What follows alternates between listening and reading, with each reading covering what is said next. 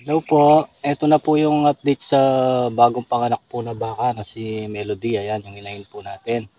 So, kanina pa pong alas 6 ng anak si Melody. So, ang napansin ko po, hindi pa po tumayo mula kanina yung anak niya. Ito po siya oh. Ayan. So, ang gagawin ko po, ah tuturukan ko po siya ng iron ang ano yung iron dextran para lumakas-lakas po siya. So disclaimer po, ah, hindi po ako veterinaryo. Experience ko lang po ito. Kaya ibabagi ko po sa inyo kung ano yung mga natutunan ko sa pag-alaga ng baka. So panoorin niyo po kung ano po yung gagawin ko dito at i-update ko po kayo mamaya kung makakatayo na po siya. Ito at papakita ko na po sa inyo kung paano yung gagawin kapag ah, ganito yung nangyari sa anak ng baka nyo na hindi makatayo pinainom ko na po ng tubig. Kasi hindi pa nakadede mula kanina. So huhaw na huhaw siya. So uminom naman po siya. Ito po yung balde kanina. So stay tuned lang po kayo para may matutunan po kayo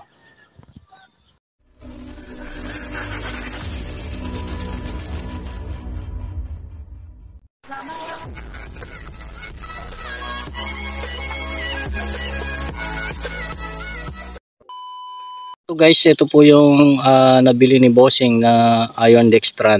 Ah, 360 po yung ganito kalaking ah, bote. 100 ml po ito. Ayan.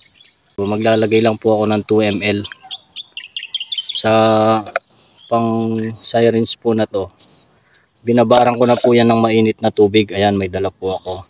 So, panoorin nyo na lang po kung paano ko po i-apply sa bagong anak na baka. Yan po siya oh. Yan. Tuturukan po natin ng iron para lumakas-lakas po siya. Hindi po siya makatayo eh. O, ang gagawin ko po ito. Tuturukan po natin ito. O, panoorin niyo po guys ah kung paano ko po i-apply. So ito po guys, maglalagay na po ako ng 2 ml. I-shake nyo lang po muna. Ito, panoorin nyo lang po kung anong gagawin ko ha. Sa ano po ito guys ha, sa may muscle. Masimasin nyo lang po muna bago nyo iturok.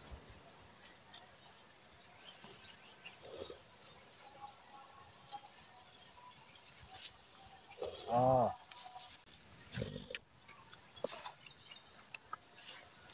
Ayan na guys. Kung napansin nyo po, hindi po talaga siya makatayo, umuusad-usad lang. So ganyan lang po yung ginagawa ko kapag hindi makatayo po yung ah, bagong panganak na baka. So i-update ko po kayo mamaya kung anong oras siya makakatayo. So ayan, pinainom ko na rin po ng tubig yan. Pero ang problema hindi pa po nakadede sa nanay niya. Ang gagawin nyo po, ang step po na gagawin para tumayo po siya. Kapag katapos niyong naturukan, ganito lang po yung ginagawa ko. Itatayo ko po siya hanggang sa masanay po siya. So ganito po.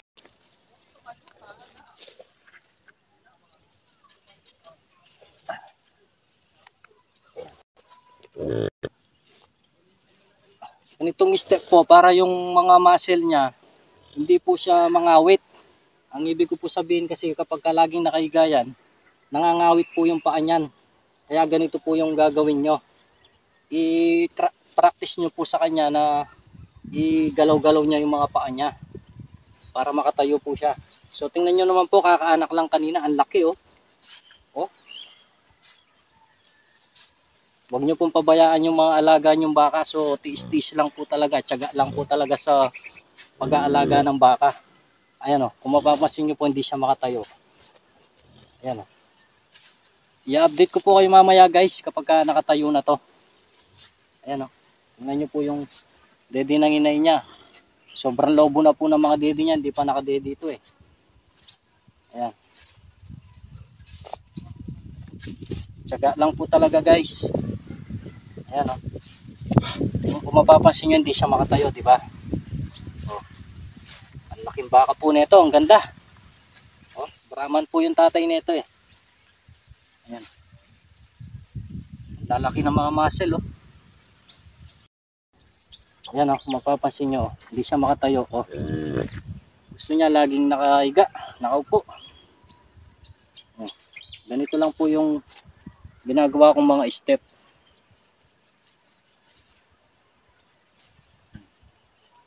Para hindi po siya mangawit. Oh, di ba? Tingnan niyo. oh. Kung mapapansin niyo, natutumba siya. Ayan oh. Medyo nakakatayo-tayo na po siya. Oh. Ayan oh. Pero alalayan nyo lang po kasi matutumba po ito eh. Ganda po niya oh, di ba? Dito ka lang, dito ka lang. Ayan oh. Oh, di ba? Hindi po siya makatayo, umuusad-usad lang. Sana'y maabot niya yung dede niya, yung nanay niya para ayan oh, para makatayo na po siya ng lubusan. Ang laking baka po ng anak niyang Melody ngayon. Ang laki po ng anak niya. Lahi po ni Barok. So stay tuned lang po kayo guys. Yung pagkatorok natin ng iron dextra no, tingnan nyo na po yung bagong panganak ngayon no. Oh, nakatayo na po siya guys. Naghahanap na po siya ng dede oh. So ayun po, Ah, nasa inyo po kung susundin nyo po yung ah, tutorial na binahagi ko po sa inyo. Pinainom ko lang po siya ng tubig tapos iron dextran ininjikan ko po. So ngayon tingnan nyo po yung resulta oh. Pero hindi pa po siya nakadede. Kaya tinitingnan ko po ngayon. Sana'y makadede na siya. Pag nakadede na po yan, talagang lalakas na po yan. Bukas lang tumatakbo-takbo na po yan. So, ba guys? Oh. Hindi po tayo ah, talagang ah, veterinaryo o nanggagamot sa baka pero ayan oh. Yung experience ko po na inano ko po sa kanila binagi ko po sa inyo talagang karanasan ko po yan sa pag-aalaga ng baka. So ngayon oh tingnan nyo na guys oh. Oh, sana'y may nakuha po kayong konting idea sa pag-aalaga ng baka. Ito guys yung part na kailangan na abangan guys yung makita nyo po na makadede yung bagong panganak na bisero. Kasi kapag ka nakadede na po yan magiging kampante na po kayo. Pero kapag hindi pa po nakadede yan mula mula pagkaanak hanggang 24 hours medyo delikado po yung bisero natin. So kaya kailangan pong tutukan yan bantayan hanggang sa makita nyo na makadede. So, ano pong gagawin kapag ka hindi nyo nakitang nakadede hanggang mamayang hapon. So, ang gagawin po natin dyan, mapipilitan po tayong ilagay sa ipitan yung inahin. Gagatasan po natin yan, painumin po natin yung bisero niya. So, kaya kahit mainit, ayan, inaabangan ko po na makadede yung bisero para maging kampante po ako. Tingnan nyo naman po yung mga dede ni Melody, oh. Tumaba na po, umumbok na ng umumbok. Pero yung sinasabi kong pinutol nila, ayun, patuloy pa rin po yung pagtulo ng gatas. So, abang-abangan po natin hanggang sa makadede po yung bisero. Ayan o, oh, kung mapapansin nyo naman, nakatayo na siya pero hindi pa po nakadede. Tingnan nyo yung katawan ng bisero. Pagka makikita nyo po yan kapag nakadede yan, uumbok yung tiyan niya. Stay tuned lang po. So, sumusunod-sunod na po siya sa akin ngayon oh. Oh, di ba? Oh, after niya nakadede oh. Pero konting-konti pa lang po yung nadede niya, guys. Ayan oh. Ang gusto ko po sana yung makita yung talagang nadedean niya ng gusto yung nanay niya. Pero not bad na po. Hindi na tayo mag-aalala. Tingnan niyo naman, nakatayo na po siya. At ang layo na ng nanay niya, nakasunod na po siya sa akin dito. Ayan oh. Mga pinapapunta ko po siya dito guys para masilungan. Ayan oh. Kasi mula kaninang umaga hanggang ngayong um, mag-aalas 4 na hindi pa siya nakasilong so papupuntahin ko dito para makapagsilong ayun oh, malilim po dito tapos yung nanay niya yung i-adjust ko na lang po dito so papupuntahin ko siya dito ma Ayan. hawakan ko po muna siya para pumunta siya dito ah kini kini ma kini kini ma ma yan na, yan na guys. Oh, 'di ba guys? Oh, ayan. Oh, nakalilim na po siya ngayon, oh. Ayan oh. So, i-adjust ko na lang po yung nanay niya. Ayan na siya guys, oh. Diba?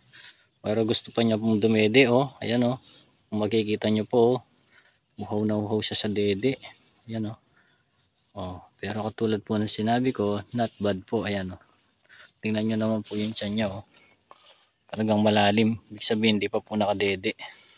Konting-konti pa lang po yung nadede niya. So, abangan nyo pa po hanggang sa makadede itong alaga kong biserong baka na to. Ayan oh.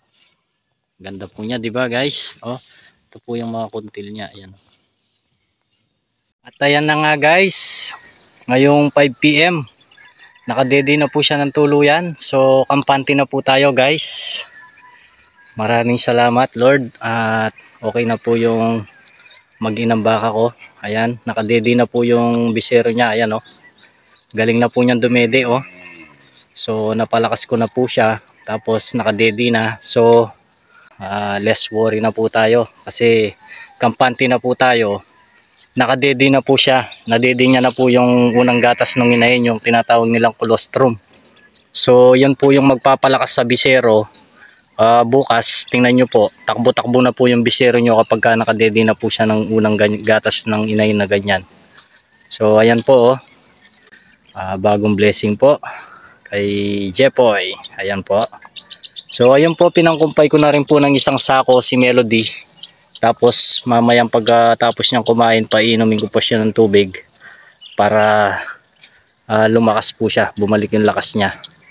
So ayan oh. Dita, 'di ba guys? Oh. Kitang-kita niyo po. Naka-ready na po siya oh. Ayan oh. Oh, yun oh, tinanggal niya. Ayan oh. Alam, alam niya na pong isubo, 'di ba? So Hanggang dito na lang po guys. Maraming salamat po sa panonood. Ayan, sana maparami nyo rin po yung alaga ninyong baka. So, tiyaga lang po guys sa pag-alaga ng baka. At uh, sipag. Yun lang po yung magiging tulong natin sa ating mga alagang baka. Pangsakati, painumin. So, hanggang dito na lang po. Bye-bye! Ayun oh. Galing na po niya oh, lakas na niya oh. Ayun po yung inunan ni Melody. Ilalabas na po niya niyan eh no. Malapit na po niya ilabas. Bye-bye.